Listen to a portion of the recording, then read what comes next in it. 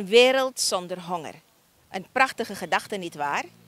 Dat is ook het denken van de Voedsel- en Landbouworganisatie van de Verenigde Naties, FAO. Maar gelukkig houden ze het niet slechts bij een gedachte, maar werken er daadwerkelijk aan.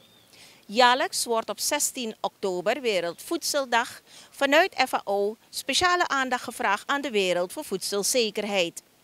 Het thema dit jaar, 16 oktober 2018, is Our Actions are Our Future.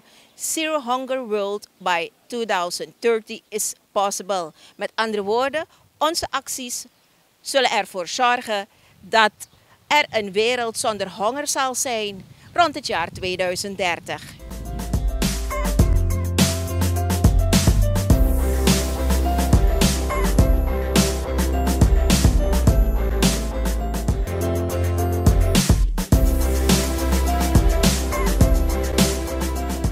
Meer dan 815 miljoen mensen wereldwijd lijden nog steeds aan honger. Verrassend is dat het aantal mensen die honger lijden steeds meer toeneemt, ondanks de vele activiteiten die georganiseerd worden door de Verenigde Naties en haar partners. En veel van deze hongerlijdende mensen wonen nota bene in gebieden waar men doet aan agrarische productie. Suriname is een lidland van de Verenigde Naties en de FAO. En dat betekent dus dat ook wij deelnemen aan de activiteiten in verband met Wereldvoedseldag. Voor Suriname is het ministerie van Landbouw, Veeteelt en Visserij verantwoordelijk voor voedselproductie en daarmee dus voedselzekerheid. In deze editie van onze programma in verband met Wereldvoedseldag zullen de diverse onderdirectoraten Landbouw, Veeteelt en Visserij u tonen dat u geen honger hoeft te lijden. Omdat er eigenlijk overal om ons heen voedsel is. Suriname is een vruchtbaar land op elk gebied. Als we het nou hebben over de planten, de dieren of de vissen, er is constant door voeding te vinden. Kijkt u mee? Welkom op het resortkantoor Nieuw Amsterdam van het ministerie van Landbouw, Veeteelt en Visserij. Mijn naam is Sonto Tierto Tuskeni, waarneem het resortleider van Kommerwijnen. En in verband met Wereldvoedseldag op 16 oktober 2018 hebben wij gemeen enkele eetbare wilde en verwilde planten te belichten omdat hij volledig beschikbaar is en ook nog wel gratis te halen is in de natuur. U zult versteld staan als u wist hoeveel van deze planten wij dagelijks voorbij lopen en of wegmaaien. Bij deze aflevering zullen wij u helpen enkele van deze planten te herkennen en vervolgens te bereiden. Wij voeren u mee naar mijn collega, de heer Dihal. Dankjewel collega. En, uh, ik ben de heer Dihal, een uh, agrarisch voorlichter van het resort. En, en uh, ik ga dat stukje even uitleggen van een wilde en verwilderde groente. Waarom wilde en verwilderde groente? Omdat een uh, groente en, uh, op bepaalde tijden van het jaar dan erg duur is, vooral in de regenperiode, wanneer landbouwgronden onder water staan en de gewassen doodgaan. Of in de droge periode, wanneer er een tekort is aan water om die groenten nat te maken, voldoende water te geven. En vandaar dat we dan uh, deze planten willen dan belichten met dezelfde, ongeveer dezelfde voedingswaarde. De klaroensoorten waarvan we de bla bladeren en blad en uh, steel kunnen gebruiken. De jonge toppen van de spruiten, dat zijn de kabbes, de zoete patat, de wilde peper en, en de kangkong, meer bekend als dagublad, dat zijn deze. De bloeiwijze van de vruchten en zaden kunnen we ook gebruiken. En dat zijn de yabafutu, ook een klaroensoort waarvan we de bloeiwijze kunnen gebruiken als groente. De wilde sopropo, en, uh, de groene papaya en, de kapucijner, zowel de jonge kapucijnpeul of de zaden kunnen we gebruiken ook als groente. Daarnaast hebben we de wortelstokken en knollen. Daar hebben we de uh, Dacintaya, de taiersoorten, de kimpol, de bekende zoete patat en de gezave. Dat zijn uh, de groentesoorten, de aardvruchten die wij dan kunnen gebruiken als groente. En deze groentesoorten groeien vrij in de natuur. En dat kunnen we gratis halen. En het is vrij van een uh, pesticidengebruik zonder enige invloed van de mens. Deze groenten groeien ook langs de bermen, langs de straten. Maar daar moeten we dan even uitkijken of het niet bespoten is met herbiciden of een, uh, de uitlaat en gassen van auto's, dat het niet een, uh, enigszins besmet is. Dames van ons resort zullen de bereidingswijze van deze groenten demonstreren. Let goed op, het zal smaken.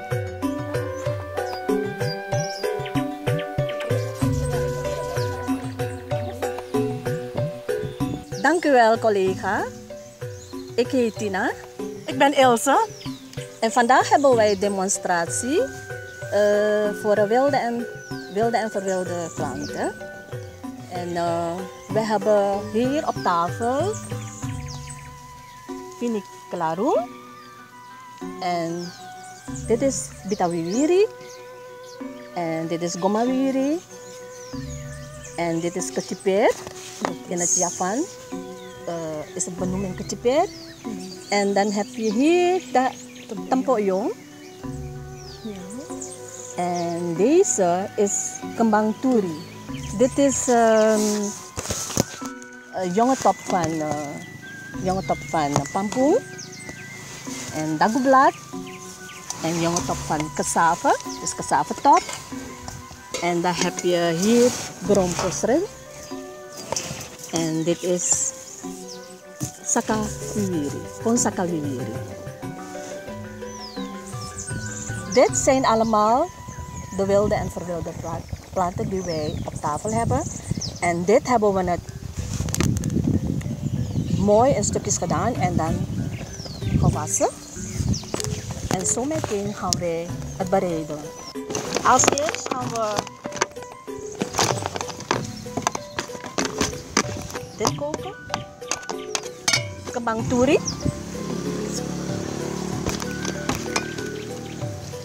in een pot met water die al gekookt is.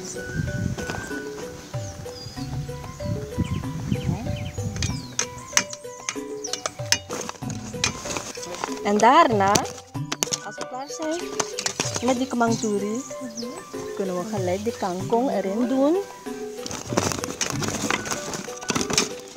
Let erop dat wij dan alvast moeten beginnen met iets dat niet bitter smaakt. Dat het geen bitter smaak heeft. En dat doen wij dan. En dat doen wij niet tegelijk in één, maar stap voor stap.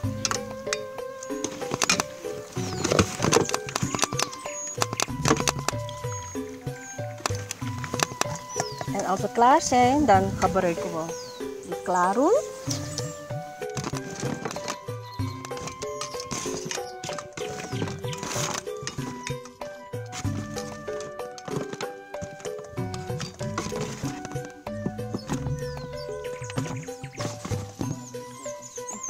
Waarom wij moeten uitkoken is om, om, om, het gaar te laten maken. En wij moeten al deze groenten wel niet te lang koken en ook niet te kort. Het moet dan genoeg gekookt worden zodat wij kunnen eten.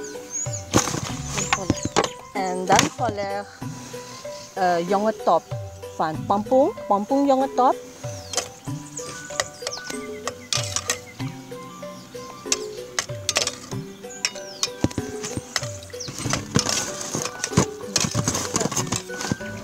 En daarna die keciper. Bij ons heb je overal, we kunnen gewoon planten achterin, hoeven niet te kopen. Maar nu verkopen ze die uh, in de winkel en het is heel erg duur, verschrikkelijk duur.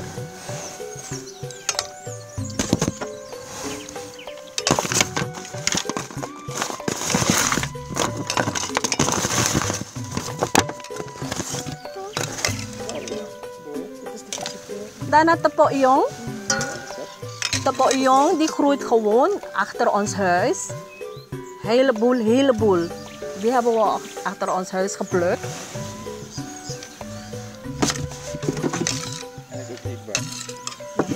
Dat zijn allemaal eetbare, wilde en verwilderde planten. Dat zeggen we vanaf vooraf, dus het kan gegeten worden best.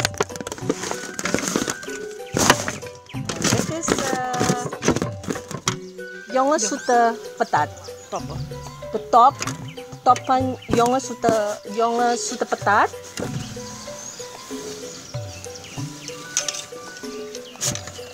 En die is heel, heel erg lekker.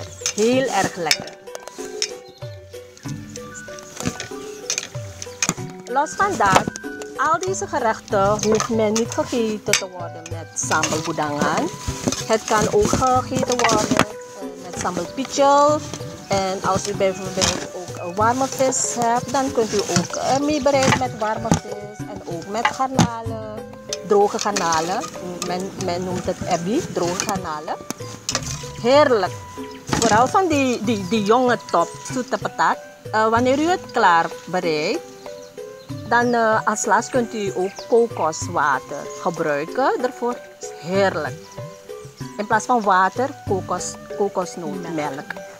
En eh, dit is alles wat wij naar voren hebben gebracht. En ik hoop dat het interessant is voor eh, jullie allemaal. En uh, zo meteen gaan we lekkere goedangan eten.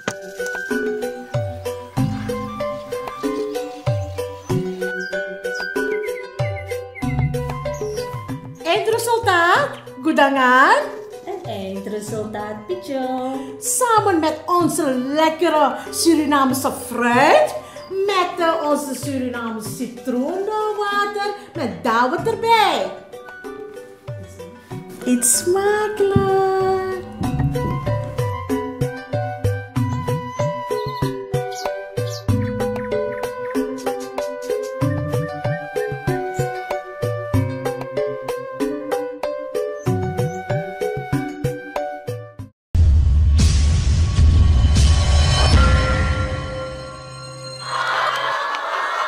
Ik ben Vergien Popken. Ik ben de onderdirecteur veeteelt van het ministerie van LVV. In het kader van Wereldvoedseldag heeft het onderdirectoraat veeteelt meegedaan aan het, ehm, aan het produceren van een filmpje over Ossophorus. En dan zul je afvragen waarom. Ossophorus, dat zijn dus een, eh, oftewel huiskippen, die worden gehouden achter of op het erf van mensen. Dus tussen mensen. Dat is iets heel anders. Het is een heel ander soort, um, laten we zeggen, soort kip dan die normale witte kip, de slachtkippen en de, die, die legkippen die in hele grote een rennen worden gehouden. Um, Wereldvoedseldag. Het ministerie van LVV, het beleid is erop gericht er altijd voor te kunnen zorgen dat iedereen in Suriname dus um, altijd voldoende en ook veilig voedsel um, heeft. Veeteelt, oftewel dierlijke productie, levert daar dus ook een belangrijke bijdrage aan. En als iedereen in Suriname op of om het huis begint met een agrarische productie, oftewel, laten we zeggen, het planten van groenten en daarbij ook het houden van kippen, want dat zijn de dieren die makkelijk te houden zijn rond het huis, dan, dan heeft eigenlijk niemand in Suriname hoeft dan honger te lijden. En dat is dan de reden dat wij dus gedacht hadden een klein filmpje te maken over uh, het houden van Ossophorus, oftewel huiskippen. Mina Iris Libretto, met een Mariendal en met Duan Ossophorus. Um, vijf à zes jaar terug mi begin aan Ossophorus en mi shitak aiwaka. Want in het begin mi mi be begin um, mi no be apfuru. Want mi be dutras ani mano dim shitaka actie bigi in Ossophorus. Dus dat mi dat mi broeder, want mi kom bij een broedmachine, dat mi zeven broeder de exi. Saf safri da Ossophorus mi ap moro furu. En uh, later mi nanga LVV Euroko samen voor een project voor Apetina. De tegen mi tak a project be boom. En voor tradorpu een actie a actie voor Ossophorus de. En de tradorpu wan doe mee ook toe nanga a Ossophorus project. Want a Ossophorus ana furu sorgu van. Uh, me bij jegi keukenafval jegi ook toe, met de groenten naar des Masai Prani. Dus daar a Ossophorus. En 100% je, je meken naar Ossophorus. Want de actie kotax mano de furu sai kweki oso furu bigi moro lekni. En anotak bigi want mi ap uh, 200 ongeveer 200 200 zoveel oso furu. Maar toch a actie de altijd. En dus mij kon me doe me ser actie, me ser de furu, me ser keuken. Ja, me serena oso ja, soms me doe mee naar de beurs. Uh, me serena mi apo bande service na fese dape me chago na fese me pot na fese dape me seri. Des ma e bel mi me chago lever gi des nesi vooral. De nyang lontu na doro se de wakaina uh, terrein weet de nyang overal dus de nes de siki minder.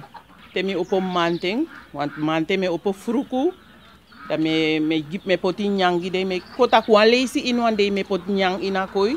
Da na 2 3 uur zo da me opa koi. Winsa nyan ba me opa koi want da de ne nyamoro da de wakadoro sei de nyang grasi de nyang insect.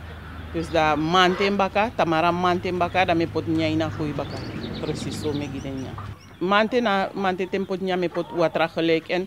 Bijna overal in jari me pot chimbaki na nga watra want de waka lontuf nyang ali fari pot watra overal want anders do goina koi baka dus me pot watra overal dus dat de nyang de dringi. Dus eigenlijk te de bakanna te daten te de nyang bakanna eigenlijk in pot de na koi. Dus ap automatisch pe de sribi. Dus bakanna baka 5 euro 6 euro ala ala malai gon koi. Dus dat te ala malai gon koi na mi tapa koi tamara mante baka.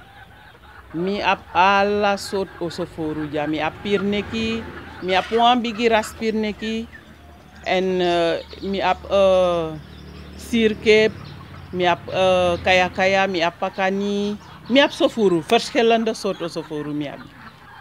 Ah, ik zie van sofuru if nyamengi no nyalle gewoon ik zie moro. Dat na original.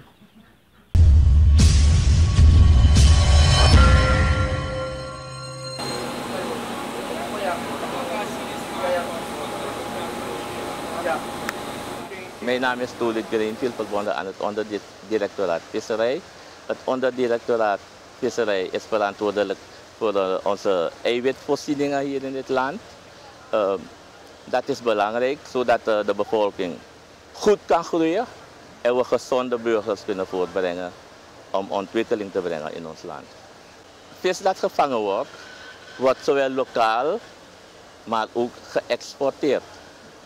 De vissoorten bambang en kandara, die worden overwegend gebruikt voor de export lokaal de kleinere vissen, dat, dat wordt op de markt verkocht en wordt gebruikt voor onze lokale consumptie. Welke vissen zoals? Uh, zoals uh, de boot, botervis, de witwitty, de snoek, neertje en de krokus. Ook de kupila en de kodoku wordt veel gebruikt. Yarabaka, dat is delicatesse. vissen die lokaal gebruikt worden, worden op verschillende manieren uh, verwerkt.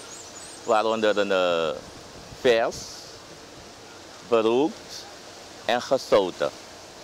Gezouten kennen we de tri, die kleine wit-witty, die heel kleine.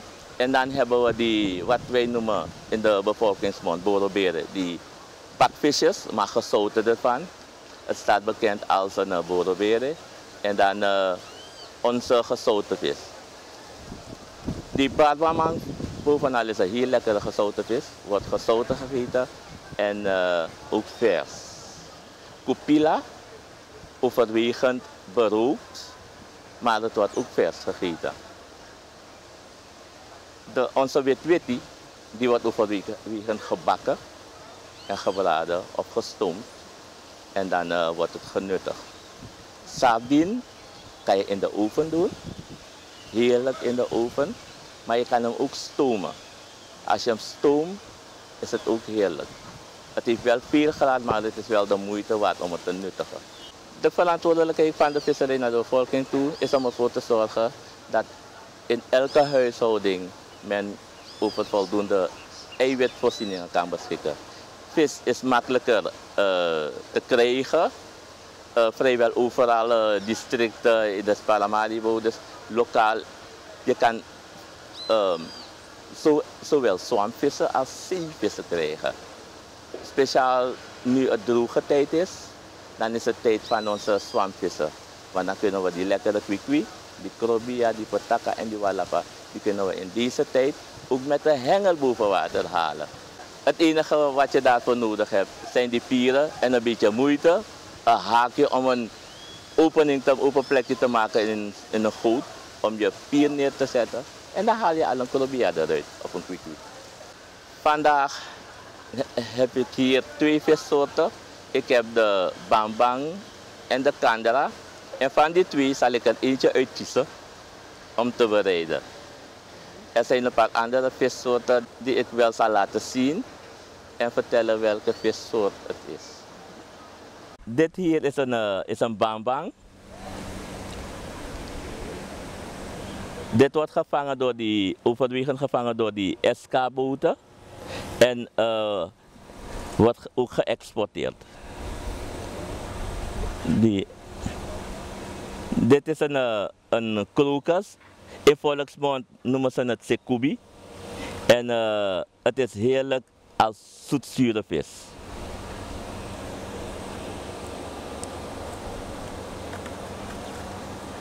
Dit is een uh. Dit kan je vers bereiden, maar het wordt overwegend berookt en daarna bereid.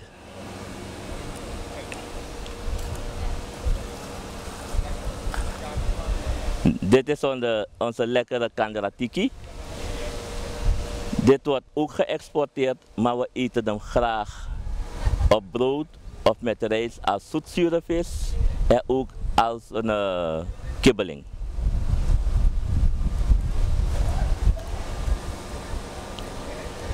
Dit is onze papoma, zogenaamde cyclobia. Lekkere vis. Het is wel moeilijk om schoon te maken, maar het is de moeite wel waard, want het is een heel lekkere vis. Wat is dit? Dit is een neertje. Het is een heel lekkere vis. Als je hem gestoomd hebt, wordt je vloeistof wit gekleurd. En het is heel lekker. Lekkerder dan mamang. Maar het is dan geen bekende vissoort? Wel, die oudere mensen die kennen hem wel. Die zijn ermee vertrouwd.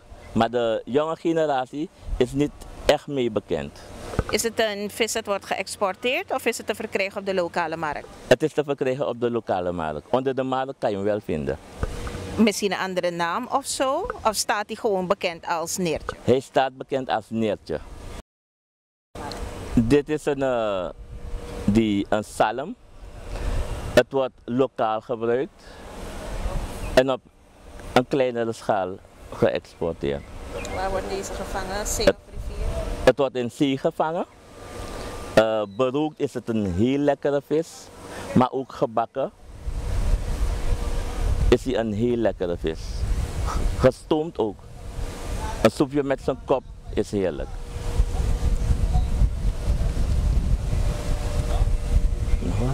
Wat is dit? Dit is een uh, makreel. Dit kan je gebruiken om kroketjes te maken. Waarom is hij, daarom, waarom is hij daarvoor zo geschikt? Als je hem gestoomd hebt, dan kan je, dan kan je het gebruiken om kroketjes te maken. Het is uh, makkelijk om ze dan, je kroketjes te rollen. Het valt dan niet uit elkaar. Verder kan je hem uh, dan is hij heel lekker. Maar ook gebakken, gebraden, is het een heel lekkere vis. Dit is een wondervis, je kan zoveel dingen ermee doen. Deze vissen zie je meestal uh, in, in, in winkels. Ze zijn ingeblikt, makreel, sardines, zo kennen we ze. Maar hier in Suriname kunnen we het ook krijgen, want het wordt hier ook gevangen. Alleen weten vele mensen niet dat het diezelfde vissoort is dat ingeblikt is. Michel, uh, wat gaan we nu koken? Zo, uh, er zijn twee vissen daar, dus uh, kandratiki en uh, een bambang. Die ready zijn om uh, bereid te worden. Beide dus? Yes.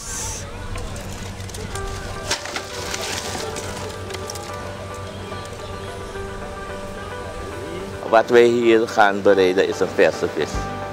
We gaan beginnen om hem te fileren. Nu ga ik eerst dit deel afsnijden.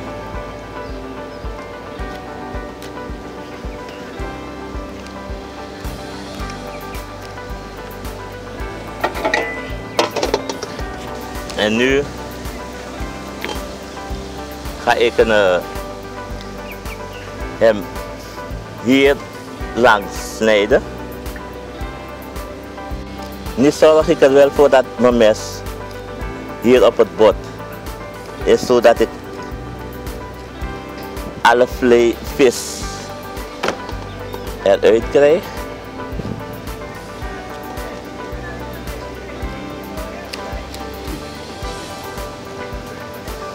Zo ziet hij eruit als hij gefileerd is.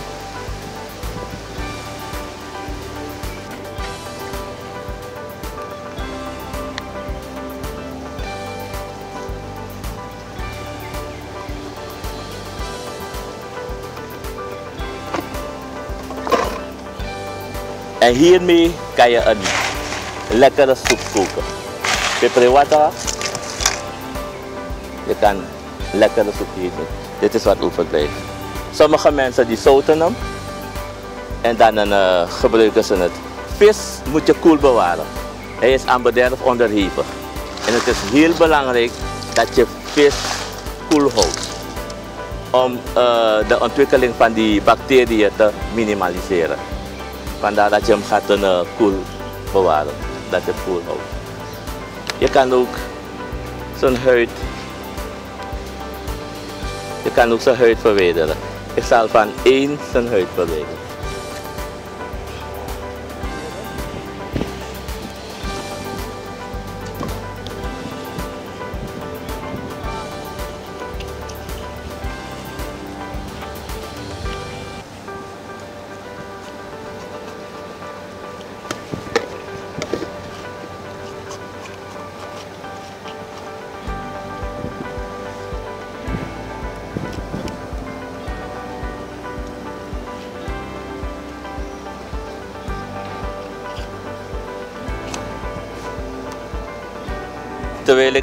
Terwijl ik bezig ben dit hier te snijden, zijn de heren bezig om uh, alle voorbereidingen te treffen, zodat we verder kunnen gaan met het proces.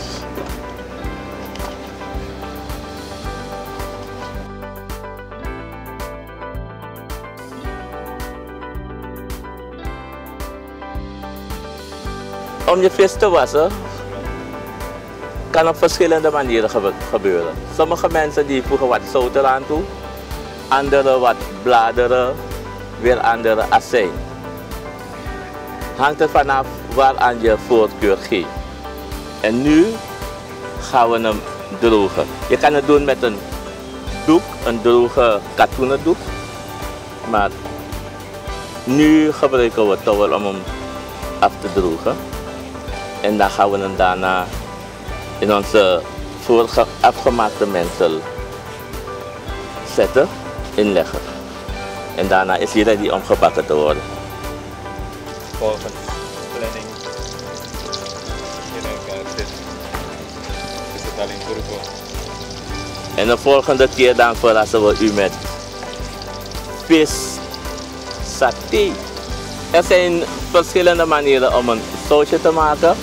Zoals onze vis nu gebakken wordt. Dan kan je bijvoorbeeld uh, uien knoflook, tomaat, soepgroente en prei alvast snijden, klaarleggen.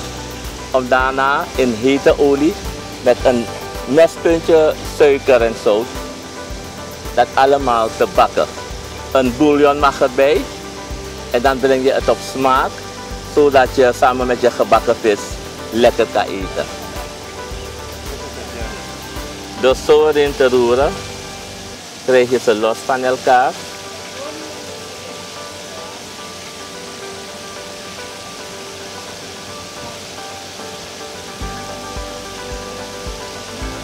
En dan weet je zeker dat ze niet.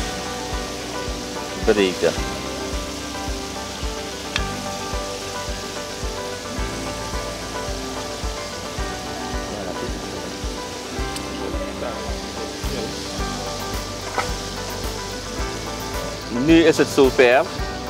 We hebben kandra en bambang voor u gefileerd, gewassen, ingelegd en gebakken.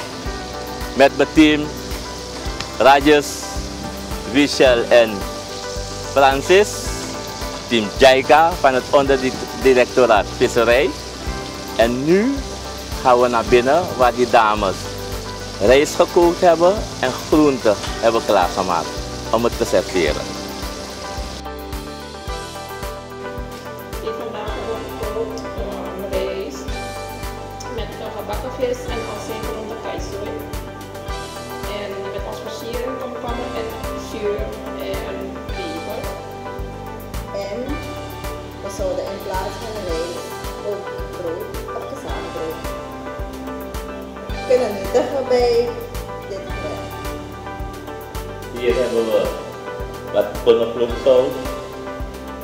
mayo, mayonaise en tomaat.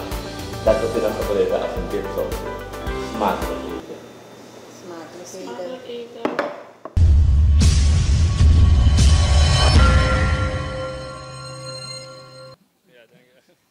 Terug lekker.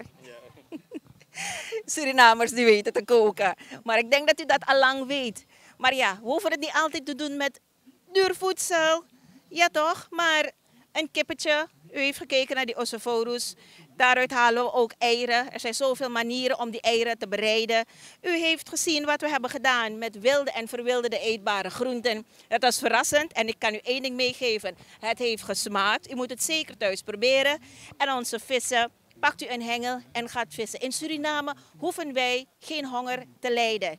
Wij hoeven niet te behoren tot de grote groep van 815 miljoen mensen die honger lijden. Suriname heeft meer dan genoeg voedsel te bieden. En het ministerie van Landbouw, Veeteelt en Visserij is altijd te bereiken als u informatie daarover nodig heeft. Voedselzekerheid, dat is niet iets waar wij ons mee bezighouden slechts op Wereldvoedseldag.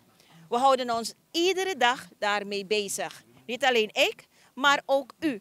De aarde brengt ruim voldoende voedsel voort om ieder dagelijks te voorzien van een volwaardige maaltijd. Als we maar eerlijk delen. Denk eraan. Our actions are our future.